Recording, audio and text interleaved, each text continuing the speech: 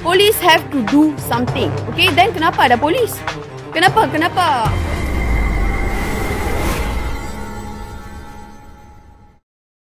Berpunca daripada pemasangan sebuah CCTV, maka bermulalah masalah antara kedua pihak. Menurut wanita ini, CCTV yang dipasang oleh seorang warga emas telah mengganggu hak privasinya. Biarpun aduan kepada pihak berkuasa telah dibuat, namun tiada tindakan yang diambil ke atas warga emas tersebut.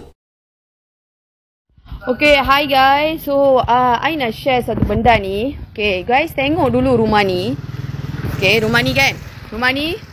Dia ni uh, nak cakap jiran kami. Memang kami malu nak cakap jiran. Dia ni, kita orang buat report sebab pasal dia punya CCTV tu kan. Dia punya CCTV tu selalu dia tengok rumah kami. So, we feel uncomfortable. So, kita buatlah aduan dekat MPSP. So, macam ni. Lagi tu, MPSP main. And then you settle up with the MPSP, it's done. With the CCTV and all the stuff, stuff, stuff, stuff belakang ni. Tapi apa yang dia buat, dia cakap pasal virginity I dekat I punya kakak. It's wrong. It's very wrong. According to our law, you can't, you tak boleh fitnah seorang. Okay? So rumah ni, okay, tengok rumah ni, dia rumah Cina tau. Dia ada mak dia, dia ada anak dua perempuan. Anak perempuan dia memang tak support dia. Okay? Apa yang dia buat? Dia beritahu dekat depan mata I. Dia cakap I, dia suruh I pi buat genetic test untuk test whether I ni virgin atau tak. Okay guys. Dia ni pasang bendera Malaysia tau. Okay boleh nampak ni. I tak tahu kenapa dia pasang bendera Malaysia ni. Sebab dia ni orang yang tak berhak duduk dekat Malaysia.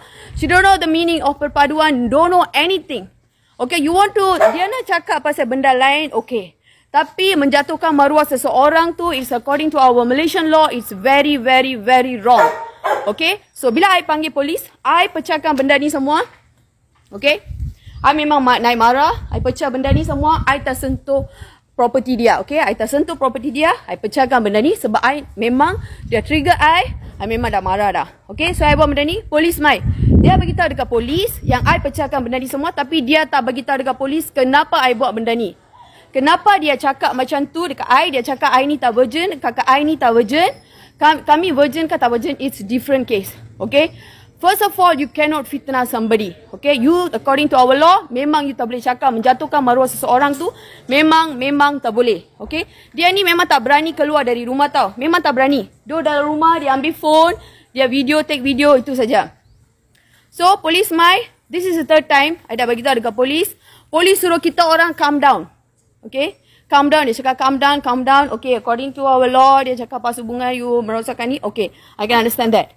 But, you need to know that police have to do something. Okay. Then kenapa ada police? Kenapa? Kenapa police have to take care of the masyarakat? Why? So, kalau kita orang ada problem, kita nak pergi mana lagi? Kalau kita tak nak cari polis, kalau cari polis tak boleh solve kita punya problem, kita nak pergi mana lagi? Pun suruh kita naik mahkamah. Okay, kita naik mahkamah. Okay, okay, it's okay. We can we, we can go to the mahkamah. Ah, then pergi mahkamah, cakap apa? Cakap salah kami sebab kami pecah pasu bunga.